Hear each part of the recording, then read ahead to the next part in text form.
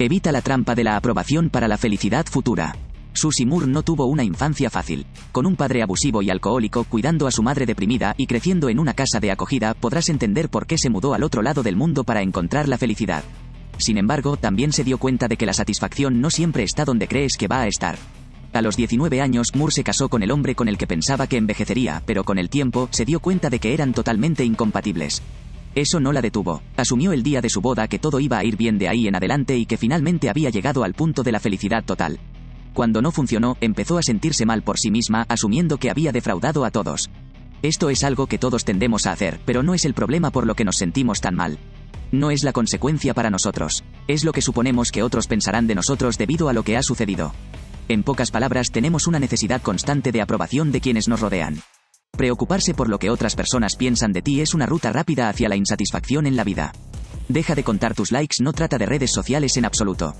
Es una metáfora del hecho de que todos nos hemos obsesionado por completo con la aprobación externa, como si eso de alguna manera aumentase nuestro sentido general de autoestima. La mayoría de las veces ni siquiera nos damos cuenta de que lo estamos haciendo, pero el coste para nuestra felicidad es enorme. Puedes tomar tus propias decisiones y simplemente debes reconocer que la única aprobación que necesita es la suya propia. Moore lo llama la trampa de la aprobación. Por ejemplo, es posible que realmente ames a alguien, pero sabes que tu familia nunca lo aprobará porque no tiene un trabajo de altos vuelos. Como resultado, dejas que la relación muera. Tal vez quieras seguir una carrera en la música, pero el hecho de que tus hermanos sean todos médicos hace que te sientas obligado a seguir sus pasos. Como consecuencia, abandonas tu sueño por la aprobación de tu familia. Buscar la aprobación nunca conducirá a la felicidad. Perdona los errores de tus padres, solo son humanos. Es fácil olvidar que tu madre y tu padre también son seres humanos. Son propensos a cometer errores, a veces egoístas o simplemente tomando decisiones equivocadas en la vida. Susie Moore habla desde su propia experiencia, especialmente porque su padre era alcohólico, y experimentó mucha agitación y drama durante su infancia. El problema es que nuestra principal fuente de aprendizaje como niños son nuestros padres. No conocemos otra cosa, así que asumimos que todo lo que nos dicen y todo lo que hacen es correcto. Solo cuando somos mayores y somos capaces de mirar hacia atrás y ver las cosas como realmente son, nos damos cuenta de que son humanos, lo que significa que tienen defectos como nosotros. Sin embargo, el mayor problema es que todo lo que te dijeron o viste en tu infancia te sigue a lo largo de tu vida. En muchos sentidos, esto puede causar pensamientos o comportamientos autolimitantes. Esto no hace más que cortar tus alas. Los niños aprenden de sus padres asumiendo que todo lo que hacen es correcto. Sin embargo, los padres también son seres humanos que cometen errores. La lección más importante es que tus padres pueden cometer errores y puedes amarlos a pesar de todo. Mientras aprendes de tus padres todavía tienes la última palabra en lo que eliges, lo que haces y en lo que crees al final. Tienes libre albedrío y tienes que empezar a desafiar los recuerdos de tu infancia que te han causado problemas y actualizar tus comportamientos. Susie Moore se dio cuenta a mediados de su veintena de que, aunque amaba mucho a sus padres, no quería tener el mismo tipo de vida que ellos. Tienes que hacer las cosas de manera diferente si quieres un resultado diferente. Tienes que cambiar algo, de lo contrario, simplemente repetirás el mismo ciclo de vida una y otra vez. Empieza a cuestionar algunas de las creencias más fuertes que heredaste de tu infancia y no la aceptes simplemente como verdad. Pregúntate qué piensas y reemplaza los pensamientos negativos por algo nuevo. Esto abre tu vida a una historia completamente nueva, una en la que puedes emocionarte. ¿Lo sabías? Cualquier persona que represente autoridad, maestros, policías y familiares puede causar creencias autolimitantes en un niño. No eres el único que no tiene ni idea. Si asumes que todos a tu alrededor tienen el control total y saben exactamente lo que están haciendo en la vida, estás muy equivocado. Es posible aprender a medida que avanzas y acumulas los conocimientos y habilidades que necesitas. Cualquier cosa que te haga falta para triunfar está ya a tu disposición. Es fácil asumir que la persona que ves en el trabajo tranquila, segura y titulada sabe lo que está haciendo y nunca lucha con nada, pero la verdad es que luchan tanto como tú. Un título puede significar que sabes cosas, pero no te equipa con todo lo que vas a encontrar en la vida. Las apariencias engañan y nunca se sabe con qué están lidiando en sus vidas. Nadie más tiene ni idea de lo que está haciendo en la vida. Tilde Ricky Gervais, comediante británico. Tendemos a sobreestimar a todos a nuestro alrededor y asumir que tienen todo resuelto. Lo hacemos porque estamos profundamente metidos en nuestro ciclo de miedo. Creemos que todo es más fácil para otras personas y que todos los demás entienden la vida mucho mejor que nosotros. No es verdad, probablemente sienten lo mismo que tú. No asumas que todos a tu alrededor saben exactamente lo que están haciendo, no lo saben. La mayor parte del tiempo, esto se reduce a algo llamado síndrome del impostor. El síndrome del impostor ocurre cuando sientes que no mereces tus éxitos en la vida y te convences de que de alguna manera te topaste con ellos por accidente.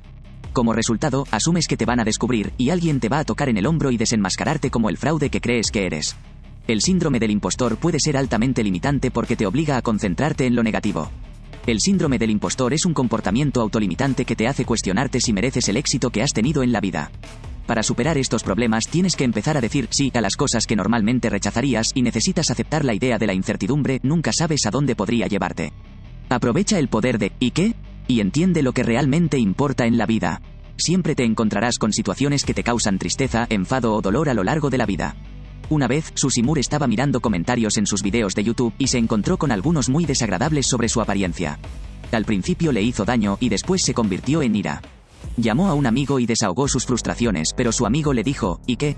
¿Y qué? Se convirtió en el nuevo mantra de Moore en la vida. Un comentario negativo no significa que debas tirar la toalla y rendirte. Es solo la opinión de una persona, comentario o pensamiento negativo y no significa nada.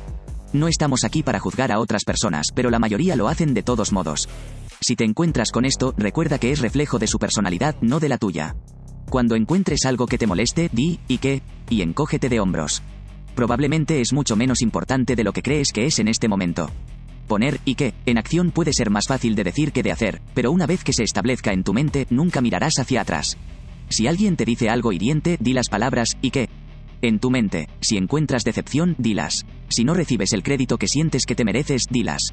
¿Y qué? Contiene magia. Significa que tomamos la vida con calma. Y al final volvemos a recordar lo que más importa. Tilde Susie Moore. La mayoría de la gente está demasiado absorta con sus propias vidas para preocuparse por lo que estás haciendo. Entramos en pánico de que si fallamos, otras personas nos vean, pero ¿qué importa de todos modos? Ayudaría si te importara mucho menos lo que otras personas piensan o creen de ti porque la mayoría de las veces no piensan ni creen nada de importancia. Susie Moore sugiere sentarse y escribir una pequeña lista de alrededor de cinco cosas que han salido mal en su vida. ¿Qué pasó? ¿Saliste adelante? Claro que sí. Cuando pienses en ello, probablemente recordarás sentirte más preocupado por lo que otras personas pensaron sobre el fracaso que por el resultado real. ¿Lo sabías? Ahora hay un acrónimo de miedo a las opiniones de otras personas, FOP o miedo de la opinión de otras personas. Relaja. La vida no está destinada a ser tomada tan en serio. Susie Moore sugiere que todos nos pongamos unas gafas de color comedia y veamos el humor en toda situación en lugar de fatalidad y penumbra. La vida no está destinada a ser un viaje accidentado. No está destinada a ser siempre sufrimiento. Si decides permitir que sea así, la vida puede ser una aventura salvaje y emocionante. Al final, la muerte nos llegará a todos nosotros. A Susie Moore le gusta visitar cementerios porque le recuerda que todo en la vida es temporal y que nada se va a quedar. Esto puede ser un pensamiento increíblemente humilde y es algo que puedes probar por ti mismo. Todos vamos a morir al final. ¿Por qué tomar la vida tan en serio? Aligera y ríete de tus desafíos. Hay demasiadas cosas para estresarse en estos días y el estrés puede ser extremadamente perjudicial para la salud. Relaja, ríe un poco más y fuérzate a sonreír en lugar de fruncir el ceño. Por supuesto, todavía vendrán tiempos difíciles porque así es la vida. Sin embargo, si haces todo lo posible para ver el lado más brillante y reír en lugar de llorar, notarás que superas los tiempos difíciles mucho más fácil, considéralo una forma de terapia. Susie Moore también sugiere preguntarse, ¿es verdad? Cuando tienes un pensamiento que te causa preocupación o malestar. Por ejemplo, podrías pensar, no tengo suficiente dinero, pero pregúntate, ¿es verdad? Si has comido ese día y tienes un techo sobre tu cabeza, tienes suficiente dinero. Si piensas mi cuerpo es demasiado grande, Moore sugiere decir, ¿es verdad? ¿Demasiado grande para qué exactamente? ¿Hay alguna guía de tallas que no conozcamos? Preguntándote, ¿es verdad? Cuando algo te molesta te ayudará a romper la seriedad en tu cabeza y te hará darte cuenta de que no es tan importante después de todo. Cuando miras las cosas de esta manera, empiezas a darte cuenta de lo ridículas que son realmente algunas de las cosas con las que nos obsesionamos. Es mucho mejor contar tus bendiciones y reconocer que tienes exactamente lo que necesitas en ese mismo momento. Aprende a confiar en tu intuición. La mayoría de la gente se centra en la lógica para guiarse en sus decisiones finales, pero pasar por alto esa voz tranquila dentro de ti podría ser un gran error. ¿Cuántas veces escuchas y confías en tu intuición? Esta es la parte más sabia de ti. Es una voz guía que te da la información que necesitas para superar problemas y tomar las decisiones correctas en la vida. Demasiadas veces pedimos opiniones de otras personas para tomar decisiones, pero todo lo que necesitas ya está dentro de ti. Simplemente debes aprovechar ese poder y confiar en lo que te está diciendo. Sintoniza con tu voz interior y confía en ella. Tu intuición es la única guía que necesitas. La intuición a menudo se llama tu sexto sentido. ¿Se te ocurre una época en la que confiaste completamente en este sexto sentido? Tal vez lo que sentías era completamente absurdo, pero fuiste con ello de todos modos. ¿Cómo resultó? Probablemente encontraste la respuesta a una pregunta que necesitabas o tal vez te llevó hacia una oportunidad que resultó ser positiva para ti. El problema es que la intuición no se puede ver y tendemos a desconfiar de cualquier cosa que no podamos ver con nuestros ojos o sentir con nuestras manos. Ayudaría si empezaras a adivinar todo lo que piensas y sientes y necesitas dejar de mirar hacia otras personas para obtener la guía que ya tienes dentro de ti. Cuando le preguntas constantemente a otras personas lo que deberías estar haciendo, terminas haciendo lo que quieren que hagas y no lo que tú realmente quieres hacer. Preguntarle a otras personas lo que piensan que debes hacer significa que estás viviendo tu vida por ellos y no por ti mismo. Cuando vayas con lo que de verdad quieres y lo que sientes, tendrás muchos menos remordimientos cuando seas mayor, y no mirarás hacia atrás deseando haber escuchado esa voz molesta diciéndote que lo hicieras o no, según fuera el caso. El rechazo no es el final. Mucha gente asume que el rechazo significa que todo lo que estás trabajando tiene que parar. Ese no es el caso. El rechazo es solo un bache en la carretera. No es el final del camino. En muchos casos, el rechazo puede ser simplemente un caso de amor duro, algo que te ayude a aprender y reevaluar cómo hacer algo de una manera diferente. Cambiar tu percepción del llamado fracaso es clave para ayudarte a seguir adelante con las cosas que quieres en la vida. Nadie puede hacerte sentir inferior sin tu consentimiento. Tilde Eleanor Roosevelt. Susie Moore sugiere que te enamores del rechazo y entiendas que no es más que una ilusión. A pesar de que es una escritora y empresaria muy exitosa, Moore a menudo recibe rechazos de los editores. En lugar de enfadarse y tirar la toalla, ha aprendido a reírse, encogerse de hombros y continuar. El rechazo no debería detenerte. Debería estimularte para mejorar. Aprende a ver el rechazo como una curva de aprendizaje. Pregúntate qué puedes aprender de la experiencia y cambiar para la próxima vez. La mayor parte del tiempo cuando te rechazan, ni siquiera se trata de ti en absoluto. No puedes saber qué está pasando en la vida de alguien en un momento, así que ¿cómo sabes por qué han elegido rechazarte a ti o a tu trabajo? Tal vez están estresados con el trabajo, tal vez alguien de su familia está enfermo, o tal vez solo están cansados y rechazar tu trabajo es la opción más fácil para ellos. No siempre es causado por ti. El rechazo no es personal. No tienes idea de lo que está pasando en la vida de alguien ni qué hizo que rechazaran tu trabajo. Haz una lista de algunas veces que te rechazaron en el pasado y reflexiona sobre lo que sucedió después. ¿Aprendiste algo del rechazo? ¿Lograste encontrar otro enfoque que resultara ser más exitoso? Aprende que el rechazo rara vez se entiende como un ataque personal y a menudo puede ser una ruta hacia un resultado más exitoso. Buscar apreciación y orientación externas te hará comenzar a vivir la vida de otra persona. Nunca vas a ser feliz o disfrutar si siempre estás haciendo lo que otras personas quieren que hagas. Si bien es normal querer que la gente esté orgullosa de ti, deberías trabajar para hacerte sentir orgulloso de ti mismo ante todo. Al final del día, naces contigo mismo y mueres contigo mismo. Te debes a ti mismo ser lo mejor que puedes ser, solo para ti.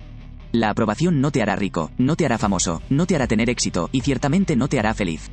En última instancia, simplemente debes vivir tu vida de la manera que quieres y trabajar en las cosas que te traen alegría y satisfacción. Si lo haces, serás más feliz y será más divertido para otras personas estar a tu alrededor.